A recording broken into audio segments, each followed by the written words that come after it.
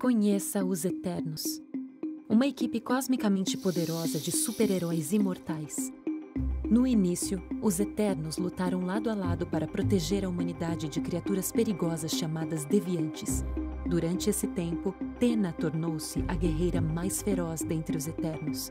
Tena pode manifestar armas feitas de energia cósmica, uma habilidade dada a ela pelos Celestiais, os construtores cósmicos de toda a existência. Tena usou suas habilidades épicas de luta para enfrentar ameaças ao longo dos séculos, o que fez dela uma lutadora lendária. Com todos os grandes poderes dos Eternos combinados, a batalha contra os Deviantes foi finalmente vencida e os Eternos se espalharam pelo mundo. Mas agora, centenas de anos depois, os Deviantes ressurgiram.